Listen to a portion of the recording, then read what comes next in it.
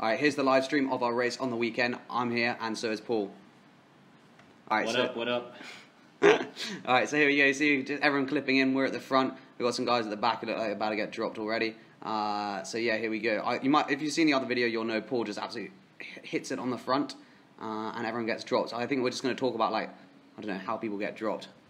Yeah, we can also talk about what the plan was. Yeah. So what was the plan? So the plan was I sit on the front, and then you just hold my fucking wheel all the way to the top. Yeah, and that, it worked pretty well to be honest. Make it go as fast as possible. Yeah, I was dying at the end a lot, but apart from that, you can see these guys at the back. They've got no chance of holding on already. Um, this is literally like 200 meters into the race, and it's already been completely blown apart. Yeah, I was Charlie's cleaning lady. Domestique. Look at everyone is literally out the back already. We've got a couple blokes who think they're going to be able to hold on, but it's uh, yeah, it doesn't look that promising to be honest. Yeah, like look at the gaps happening already. Everyone, I think everyone was very confused. Like they didn't have no idea this was going to happen. Yeah, and there were no dopers here today. Yeah. So, Zero, zero prize money equals zero dopers, eh? Yeah, it was good. There was uh, no one who was like you saw and you're like, ah, there's no way I'm going to beat him. So you can see Jason there's already losing the wheel, and already we've just got three people pretty much on the front. You can see Paul's out the saddle. I think we're doing like 460 watts there or something on the wheel. So. Yeah, just- Here we go. So some Thai footage. This footage is very interesting. Uh, sorry about the way it's filmed the wrong way, but you can see this guy on the Giant TCR Gold Edition. He's only been riding for eight months, but he's a pretty solid rider. You seem to know the riders quite well. Yeah, well, I've uh, he was talking to Jason apparently. Uh, so Paul's on the front, just absolutely drilling it, um, and this everyone else behind is just absolutely crying. String the cunts out. Yeah, basically. Um, so you can see it's like at the at the beginning, everyone looks pretty relaxed. No one looks like of us three. That no one looks that tired, but behind a lot of people were like dying already. But now it was good. It was a good race. Uh, so when do you think? What do you think people do think about when they get dropped though? Because like a lot of people got dropped very early on. So you mean like, what's the mindset? Yeah, like, what is the mindset to not get dropped?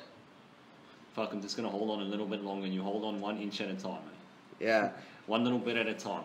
But I think the thing is when it's so early on, like this guy here, it's like so early on, he looks like he's going to get dropped. Like all these people, it must just be. Must you be just got to be present in the moment. Yeah, Just focus on holding that wheel. Nothing else matters. eh? Yeah. I think it's easy to get overwhelmed when it's so early on in the climb. You're like, oh, there's no way I can hold the wheel. It's like everyone else is hurting. Like some people are hurting more than others, but like it's still. You can see these guys behind there. I don't know. I don't know what they were thinking. To be honest, they must have just been so surprised. It's like, what the hell is going on to this race? they thought it was just going to be a little cruise up the Doi with a little sprint at the end, but nah, it was getting strung out from like minute one. Uh, and all the Thais next to us. We actually got one bloke who tried to like keep up with us for a bit, which was pretty funny. Um, like, nah, it was such a good race, uh, and one of those races where like it literally was the strongest person won. Like, there's no there's no tactics really on this one. Yeah, I mean, you've got a 6% gradient climb. The only place where you can really get some solid draft is on the flatter sections on the corner. But Yeah. sometimes we do go like over 25 k's an hour on the uphill slope. So you Yeah. can still get a bit of draft. Um, Charlie is a bit of a smaller man, so it, it helped him even more. Yeah, it was good. Van Wheeler is a fat cunt.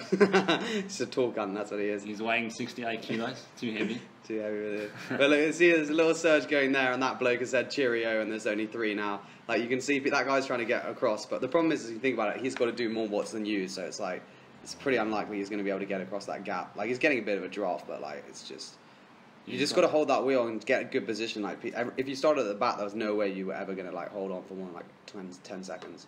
Uh, but the guy ahead of us, he's he's like in between us at the moment. I thought he was going to hold on for a long time. He looked pretty comfortable. Like he didn't he didn't look obvious that he was struggling. Yeah, some people have a good poker face.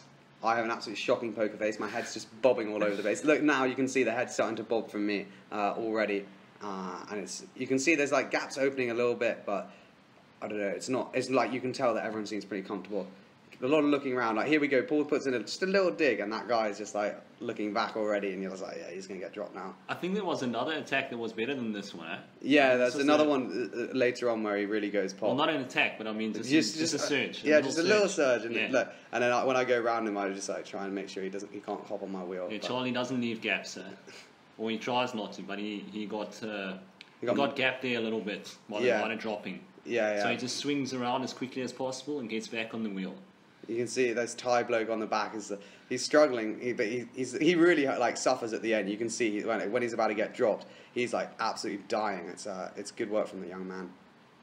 You can see here he looks pretty relaxed actually on the back. Like he doesn't look like he's killing himself at this moment in time. Yeah, I actually spoke to this young man the other day. It was probably about two months ago. It's the first time I met him.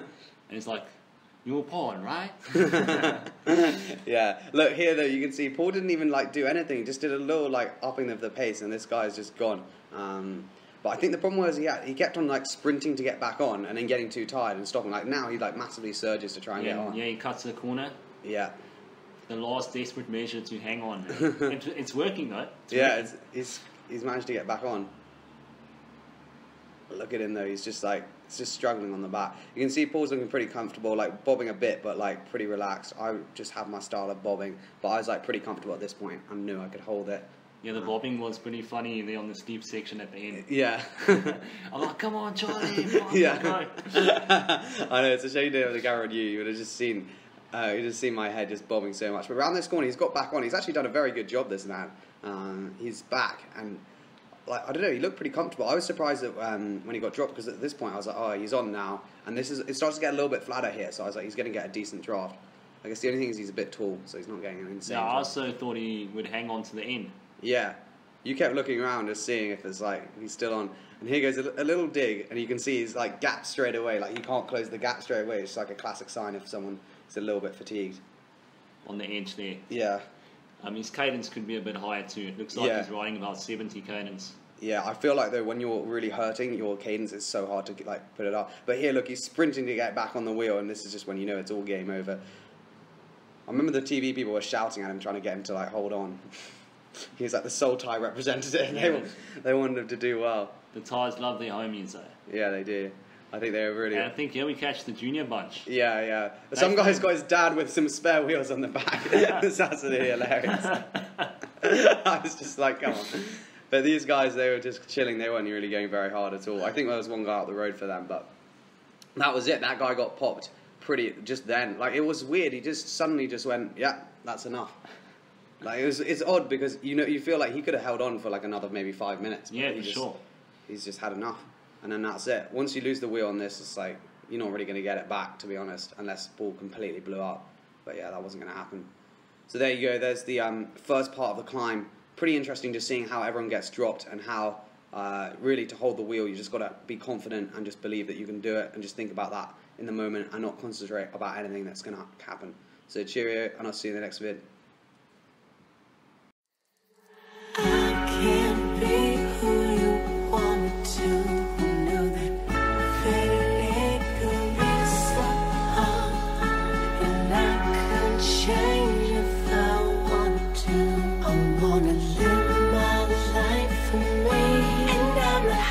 From it.